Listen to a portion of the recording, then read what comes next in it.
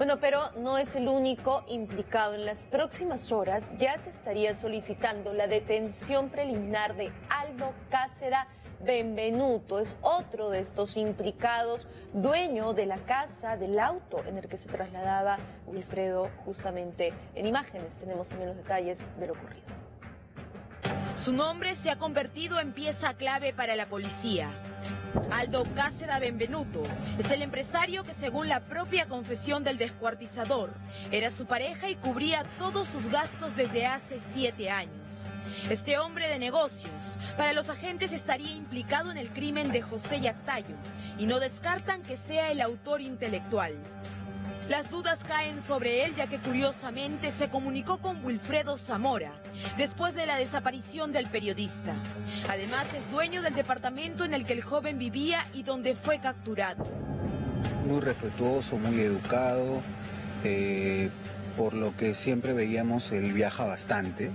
Otro dato que levanta sospechas es que el hombre de 69 años compró los pasajes para que el joven viaje a Panamá siete días después de desaparecer el cuerpo de Yactayo. Según este registro migratorio, el acusado viajó el 4 de marzo y el empresario el 7 del mismo mes. En ese país la policía sospecha que ambos se reunieron y planearon su defensa. Pero él podría excusarse y decir que no tiene plata, dinero ni, o tiempo para poder declarar y podría buscar que declarar vía Skype, vía teleconferencia, o podría buscar que declarar ante el consulado de Perú en los Estados Unidos, en la ciudad más cercana, Miami, Los Ángeles.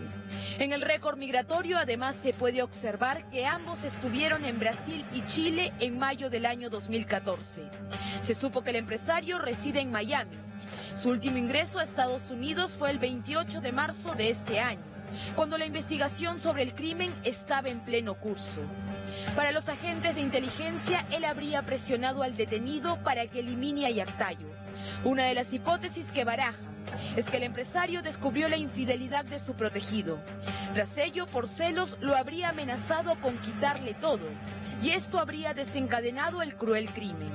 Para incriminarlo, todavía tendría que agotarse la búsqueda y encontrarse elementos indiciarios que lo conecten con la comisión del delito. Para este tipo de casos siempre suele ser correos electrónicos, mensajes de texto, mensajería, digamos, instantánea o incluso hay veces llamadas telefónicas que han sido grabadas por alguna de las partes.